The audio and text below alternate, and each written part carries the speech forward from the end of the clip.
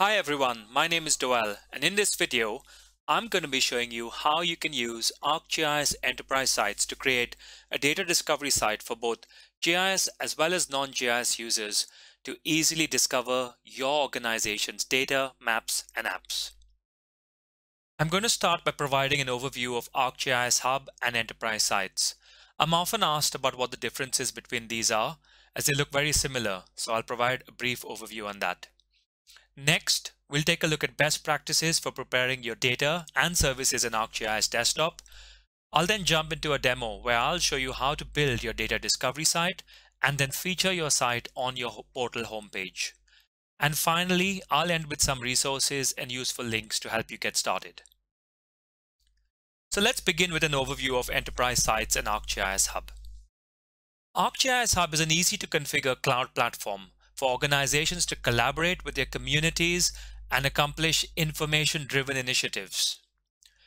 ArcGIS Enterprise Sites allows you to create a tailored web page experience for your users to help you share your portal's authoritative GIS data to other departments more easily. So they both provide the ability to build tailored websites and subpages, and they both share the same underlying website technology, but that's pretty much where the similarities end. ArcGIS Hub is a software as a service and is part of ArcGIS Online, whereas ArcGIS Enterprise Sites is hosted on your infrastructure and is a part of ArcGIS Enterprise. Hub leads enterprise sites in features and functionality. It's optimized for the web and uses techniques like CDN and search engine optimization. It contains three subsystems that enterprise sites does not, so it has custom domain URL support, it's got an expanded download system and an improved search experience. And Hub has additional licensable features for external community engagement. So in summary, ArcGIS Hub is part of ArcGIS Online. It has more functionality and two licensing levels, basic and premium. Meanwhile, Enterprise Sites is part of ArcGIS Enterprise Portal and was introduced at 10.6.1. So when would you decide to use enterprise sites or ArcGIS Hub? So I would recommend you use ArcGIS Hub when you can use ArcGIS Online. There's no credit burn, you have unlimited bandwidth downloads, and we host the infrastructure. However, a lot of users want to deploy this functionality on a private network. So if your IT policy prohibits you from using ArcGIS Online, if you work in a disconnected environment, or if you need control of your web server, then use ArcGIS Enterprise Sites. But before we can build our data discovery site, let's walk through a couple of best practices for getting our data and services ready from ArcGIS Desktop. So the first thing I would recommend is make your attributes human friendly with attribute aliases. So to do this, right click on your layer in ArcGIS Pro, click on fields and edit your aliases. Attribute aliases makes it easy for users to understand your data especially to non-GIS users, as you can see the differences here. Next, turn on editor tracking whenever possible. It's nice to see when data was last updated as this helps build trust and confidence in the data. To do this, go to the catalog view in ArcGIS Pro, right-click the feature class and enable editor tracking. Where possible, make your data available for access over open standards such as WMS giving your users flexibility in how they access this data. Turn off feature access if it's not needed to improve performance. And finally, provide a friendly name for your web layers. Complete the summary and tags fields, adding as many as you can, making it easy for your users to discover data. Now that you have your data published as services, let's jump across to a demo where we will build a data discovery site together. Okay, so I've signed into my enterprise portal as an administrator. And to launch enterprise sites, I can find the application in the app launcher up here. This takes me to the enterprise sites overview page where I can create new sites or manage existing sites. There isn't a limit to the number of sites that you can create. So I'm going to go ahead and create a new site, give my site a name,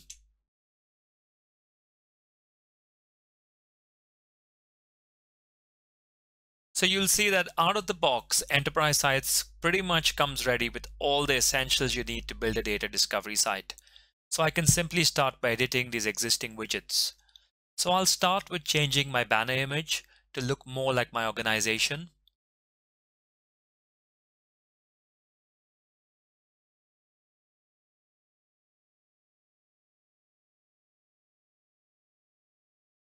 Next, I'll go and change the banner text.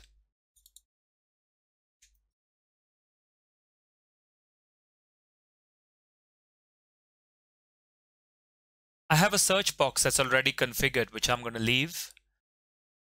I also have some pre-existing categories for browsing data. Now, some users like to browse data, so using categories is a great idea and a great way of doing that.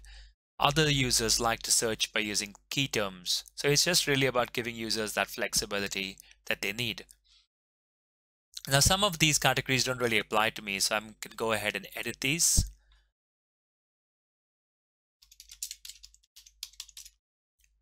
And the way these work is by using tags. So it's quite important to make sure your underlying data is tagged appropriately.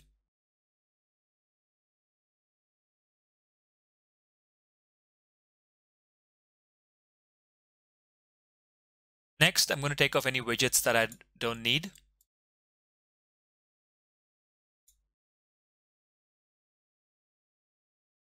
I can also customize other settings such as the theme. Add additional widgets to my layout such as a web application or a web map.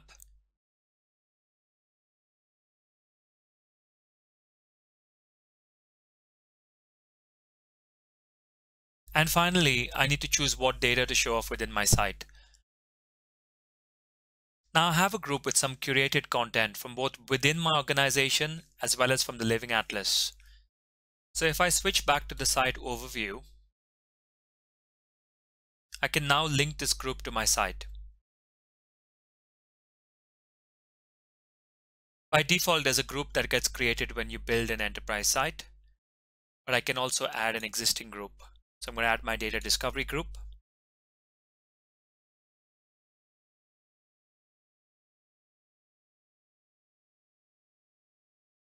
And finally, to test if all of this works, I'm going to launch my site as a user would perform a search for one of the data sets.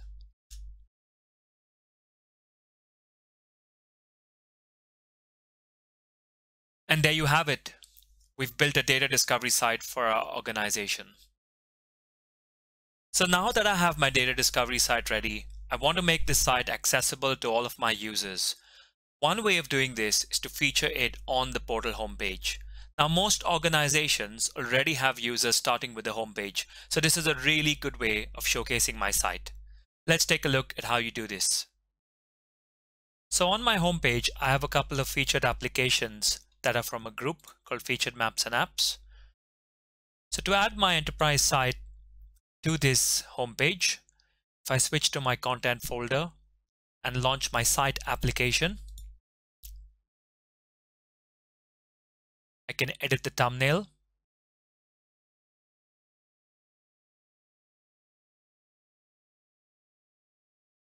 And finally, to feature this on the home page, I click share and share it to my featured maps and apps.